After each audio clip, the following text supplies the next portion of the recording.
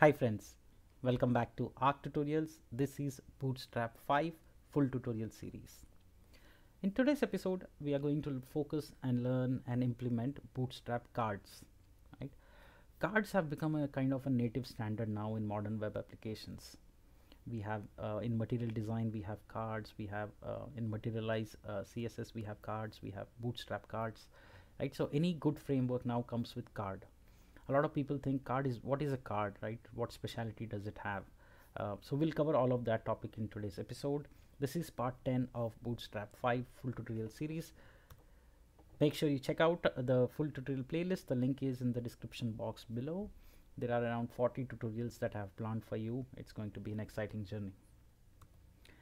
All right so so far we have covered grids uh, we have covered navbar in the last episode and today we are going to cover about the bootstrap card Alright, so these are the some of the card classes, uh, utility classes for card that are available in Bootstrap 5.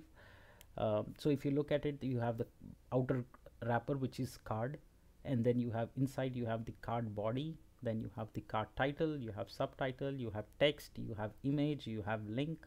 So these are all the utilities that are provided as part of the Bootstrap card component, right? So let me show you a little bit of uh, using prototyping and then probably I can help you out with the code. So anything that you see on your website, right? Let's say if you if you if you see two sections, three sections, right? So these are nothing but uh, cards, right? These are bootstrap cards. So this is an outer one is a card and then it would have a title or a head section, right? Card will have a header right? And card will have a footer right? Same way here. So you can copy the same for others as well. So you'll have card header you'll have card footer. You get the point. So cards can have header can have footer. They're optional right? And then they will have a title right?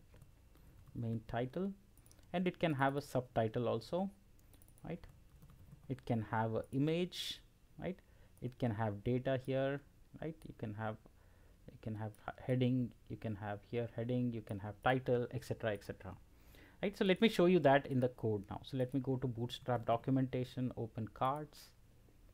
Right? So cards are flexible way uh, where you contain content container right? Which is nothing but where you place your content like this. I just explained you you have a card you can have image you can have a title you can have some content you can have links you can have buttons right? So let's copy that now.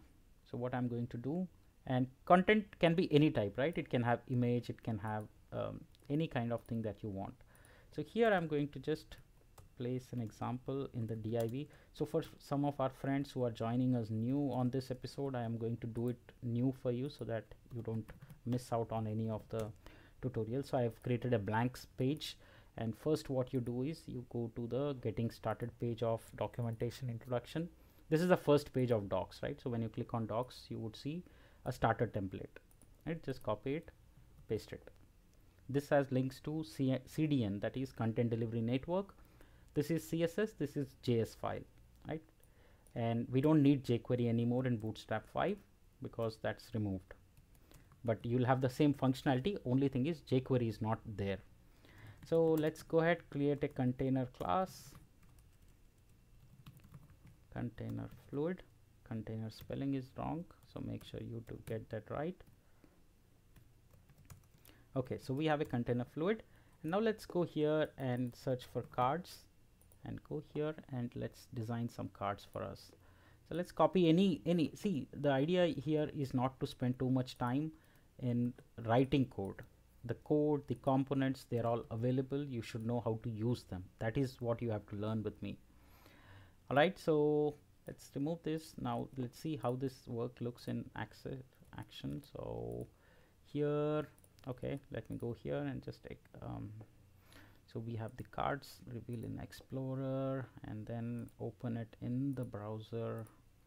Alrighty so it looks like this right? So now since we don't have an image right? So um, probably we can do a placeholder. So our placeholder dot com 300 into 300 right? So it's looking for placeholder. It didn't get it. Um, so let me show you that. It's a small good utility to place uh, images or something like that. Um, so we just have to put via. Yes. So that's the one that we have to pull. So here I'm just going to copy that. So we'll get some uh, kind of you know uh, image. It's good to always have some image to work. Okay. So let's copy it here and that's it. So now let's go to back to our application refresh. So we get 150 by 150 card right? So since I said 150 so this way we can say 200 right? Um, you can have or or I can say I want 100 into 200 so this is not what I want. I want 200 by 100 right? So we have it here. And then or maybe we can have slightly bigger one. So I'll make it 300 right? So 300 by 100 so let's say some image followed by some text and some links. Right? Now similarly if you see the more documentation you can have different different things. Like you can have a link. Right you can have card link. That also we can add instead of a button right? So here we can instead of a button here we can have a card link right? So we can, we can try all of that. So so so so this is a card which you can customize. Um, you can set the background for it. You can you can you can basically do anything and everything that we want right? Now see there is a list inside this particular card right? So you can take a list ul li list and then put it inside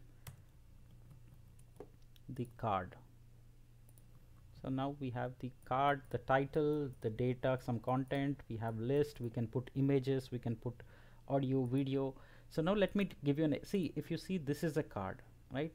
So these are all cards. Anything that you see on a website is a card. So this is a card basically right?